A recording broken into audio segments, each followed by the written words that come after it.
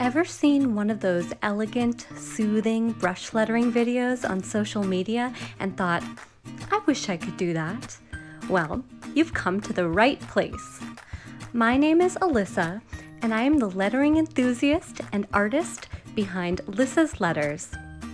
I have a passion for brush calligraphy and watercolor painting, and I get excited about sharing what I've learned about art and creativity with others through my Skillshare classes and videos on YouTube and Instagram. In this class, I'm going to show you just how easy and fun it is to learn to brush letter. You will learn all of the essentials for creating beautiful brush lettering art. Each lesson is jam-packed with demonstrations and examples to guide you as you learn how to create basic strokes with a brush pen and how to combine these strokes to elegantly write letters and words. And hey, if you're not thrilled with your normal handwriting, that's not an issue. The great news is that with a little practice, anyone can create gorgeous brush lettering.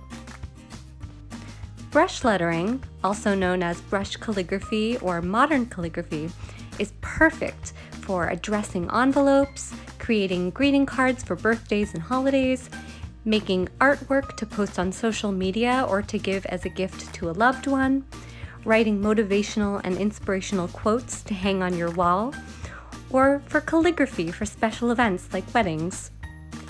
No experience is required for this class.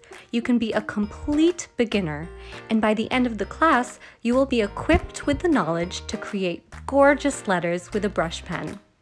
However, this class is designed for everyone, even individuals who have been hand lettering for a while and would like to brush up on the basics or learn a few new letter styles.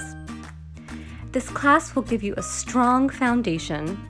We'll explore how to hold a brush pen, what paper to use with each type of brush pen, how to create the basic strokes for calligraphy, how to write the letters of the alphabet, and how to put letters together into words.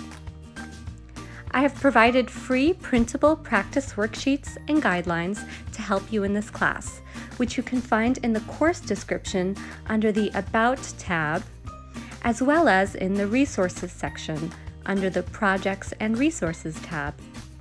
As a final project, you will be lettering a word or phrase using the skills you've gained throughout the course. I'm super excited to start this journey of brush lettering with you. I'll see you in class.